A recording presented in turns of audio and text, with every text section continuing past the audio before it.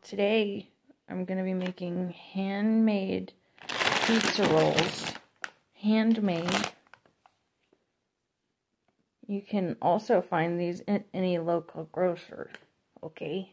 Now, for our purposes today, we're going to be using this $400 Keurig machine. You want to put way too much spray. Okay? Okay? Okay. Now,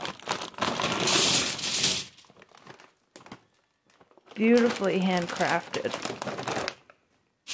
My wife did a really good job with these. Put put your handcraft put your handcrafted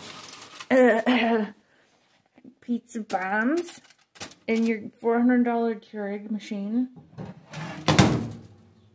That's it. That's all.